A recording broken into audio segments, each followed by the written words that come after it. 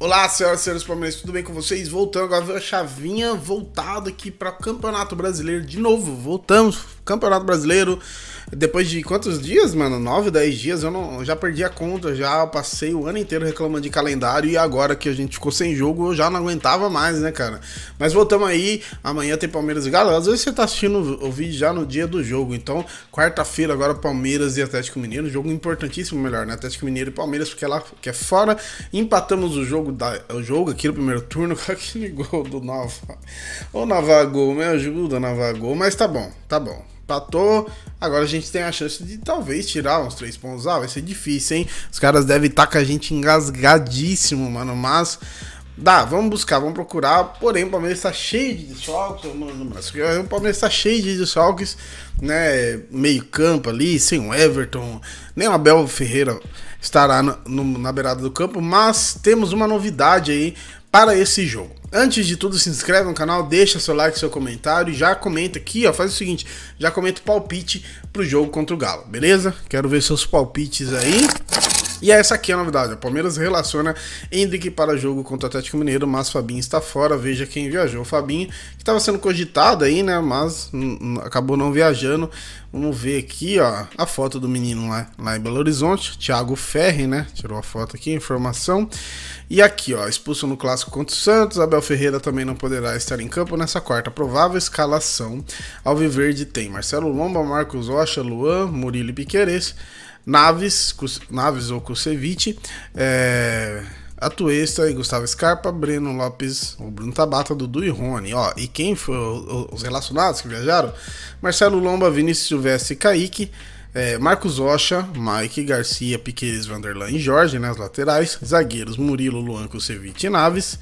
Meio campistas, Atuestas, Bruno Tabata, Atuestas, Atuesta, Bruno Tabata e Gustavo Scarpa, né? Como você só tem o Atuesta ali como volante, você pode, é por isso que tá aqui talvez o Naves ou o Kusevich fazendo isso. Atacantes: Dudu, Breno Lopes, Wesley, Juani Merentiel, Lopes, Rafael Navarro e ele, Hendrick.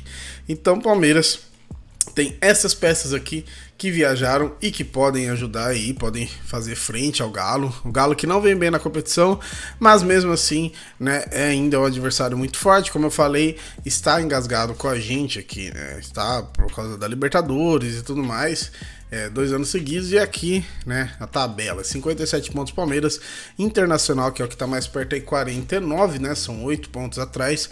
Fluminense 48, 9 pontos atrás. E aí vem o Flamengo 45, Corinthians 44, Furacão 44 e assim vai, né? Então o Santos está perto de jogar agora. Estou gravando quase na hora do jogo do Santos. Amanhã ainda tem Fluminense e Juventude, né? Fluminense ainda, né? Tá perto aqui. Seria. Dificilmente o Fluminense não ganha esse jogo. Corinthians e Goianiense também provavelmente vai dar Corinthians.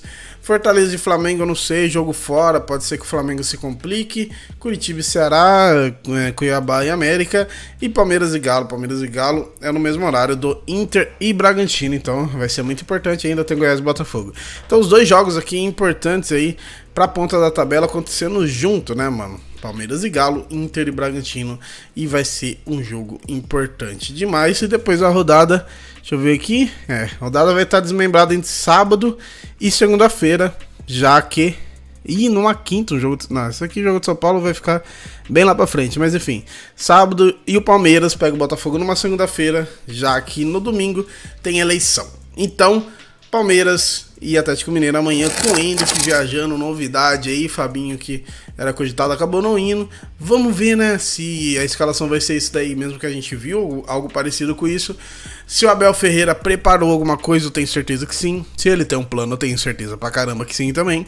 E vamos ver o que, que vai dar, né? O Galo provavelmente vem com força máxima, a questão é a vontade do Galo, né? O Galo não tem jogado brasileiro praticamente esperando só ele acabar. Mas, como eu falei, eles vêm mordidos. Então, talvez a, a, motivação do Galo seja exatamente uma revanche e tal. Contra a gente depois de duas eliminações seguidas na Libertadores, né? O Cuca, né? O Cuca a gente sabe como que é orgulhoso o homem, então talvez queira vir para cima. Beleza? Comenta aí o que vocês acham, qual vai ser a escalação para amanhã, palpite e se o Hendrick finalmente entra ou não. Viajou. Segunda vez que viaja já. Quer dizer, ele, o outro jogo foi aqui em São Paulo. Mas enfim, segunda vez aí, junto com o elenco, no, numa viagem de jogo oficial. E isso é legal demais. Beleza? Se inscreve no canal, deixa seu like, sua curtida. Seu like, sua curtida, enfim. É nóis.